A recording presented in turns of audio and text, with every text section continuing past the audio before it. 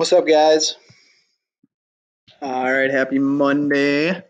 Uh, here's your lesson today. We're going to talk about this thing called molarity. All right, so this is called concentration, basically, and we so we need to be able to explain uh, information about a solution. Okay, and how that works is we say like, okay, well, let's talk about this thing called molarity. Mole is a term that we use in this instance for molarity because it talks about the number of molecules in water, right? So what is a solution? We talked about this. So you get the solute, which is the solid, dissolves in the solvent, and you have a solution. But when you dissolve this, you have you have molecules that are floating around, okay? Now, concentration is a measure of how many molecules there are, basically, in that water. So the more I add, obviously, the more there is floating around, and that's what we call molarity. So molarity is an expression of measuring concentration. All right, so we talk about in terms per liter. All right, so if you look at this beakers down here, hide this. If I had a one molar solution of HCl, basically what I'm saying is that you got 6.022 times 10 to the 23rd molecules, okay, for every one liter. Alrighty, so you just would have a bunch of molecules here floating around. All right, so 6.02, you know, HCl. But if I had 12, that would mean I would have 12 times 6.022 times 10 to the 23rd. Okay, that's the mole number. Remember, this is the mole, the standard. That's a mole, that's a mole, divided by 1 all right, for every one liter. So if you had one liter and you had 12 molar, well, that's going to be so much more concentrated. The molecules are going to be stacked in there, all right? So it's just going to be just mashed with molecules in there. And that's really it, right? So the smaller the big M, which is molarity, all right, the bigger the big M, the more you have, all right? So in instances of Kool-Aid, some of you guys like your Kool-Aid low molarity, low diluted. For me, I like it when the, the sugar's at the bottom and I like have to spoon it out. That's how much I love concentrated Kool-Aid, a high molarity Kool-Aid. So this is our equation that we use to solve for this, all right? Big M, molarity, is moles over liters, all right? And we can deviate from this, but this is our base, okay? So if I have this here, Okay, so if you have 0.4, how, I just want to find the concentration. I just want to find big M. So if I have 0.45 moles divided by 1 liter, okay, well, 0.45 divided by 1 is going to be 0.45 big M molar. That would be your answer, all right? So that's what we're solving for, big M. But what if I had 2 molars, or 2 liters, okay? So if I had 2 liters, big M would be 0.45 moles divided by 2. Well, just before I even tell you the answer, what do you think is going to happen if I double the amount of water? Well, it's going to be more dilute. Matter of fact, it's going to be 0.22 uh, 225, I believe, big M, because I, I, I basically just doubled the amount of water. I spread out the molecules more, okay? So that's how you use that equation, and that's just a way to express it. But we always express it, big M, in terms of moles per liter. That's what big M means, moles per liter, okay? So no matter what, that's our final expression is what big M is, okay? Now, we can convert a couple things, okay, to help us out, because we always don't use moles in, in chemistry, we use grams a lot. All right, so we always, to solve for big M, you have to be in moles and you have to be in liters, right? Have to be. So if I'm given a problem where I say you got 12.9 grams of copper sulfate, well, we can do a simple molar mass conversion to figure out how many moles of copper sulfate that is. Alrighty. So if I if I'm given 12.9 grams of CuSO4, I have to convert it to moles to be able to use the equation. All right, and the the molar mass Remember, for every one mole, I just added up on the periodic table. I think I added one for your assignment. Let's see.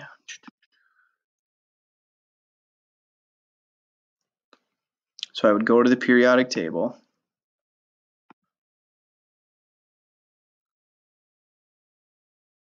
solutions lesson. Yeah, and I just would add up Cu, S, and O4.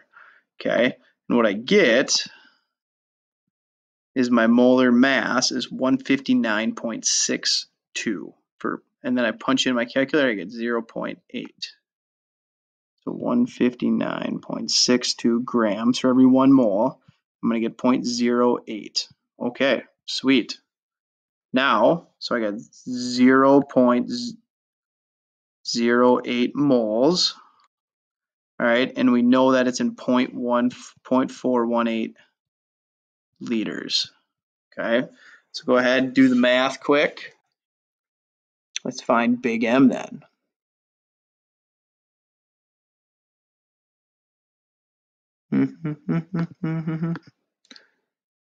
and it's gonna be 0.19.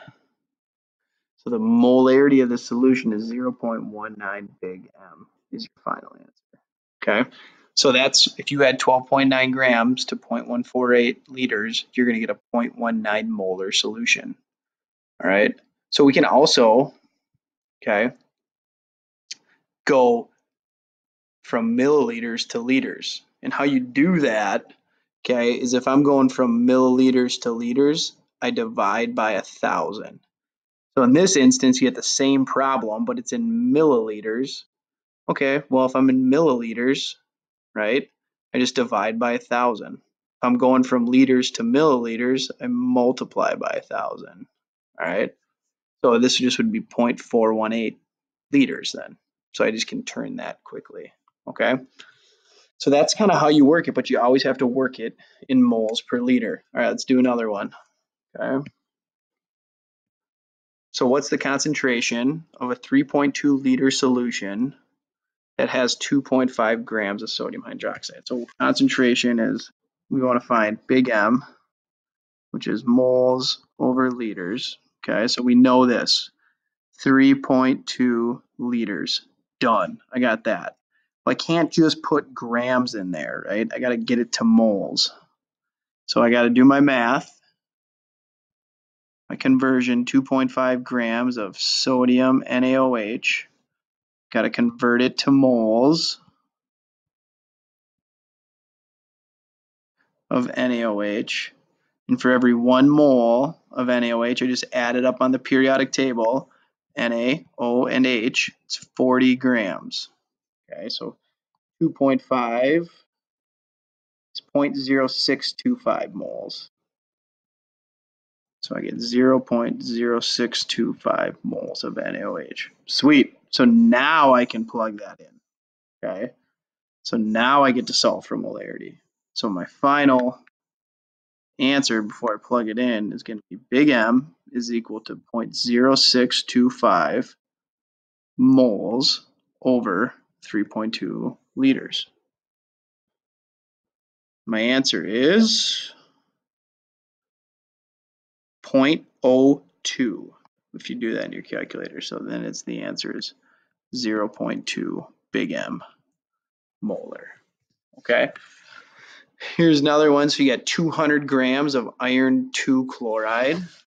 All right. We want to find the concentration in a 450 milliliter solution. So here's what I got. I got moles over liters. Okay moles over liters. So I have 200 grams and I got 450 milliliters. Alrighty. So I don't have any of these variables. We'll have to get there then. All right, so first things we can do is we can say, okay, I'm going to divide by a thousand to get to liters. So it's going to be 0.50 liters. And then how many moles will it be? Well, let's figure it out.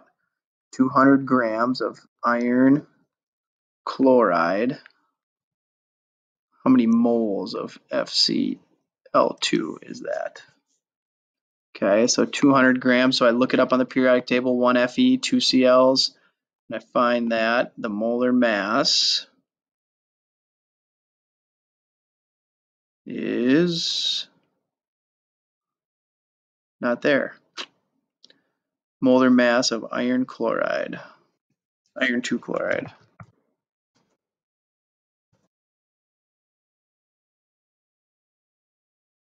126.75. Okay, so I got 126.75 grams for every one mole. So 200 divided by 126.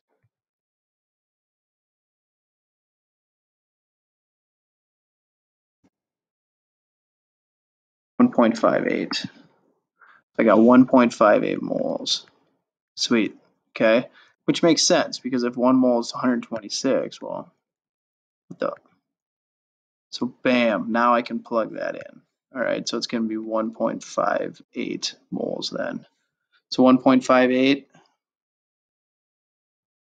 divided by 4.5 or 0.450. So divided by 4.50. Is it? Where is it? 0.45. I think I screwed that one up. 0.45.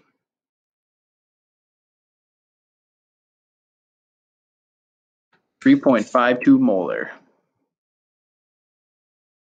Okay, so it's a 3.52 molar solution.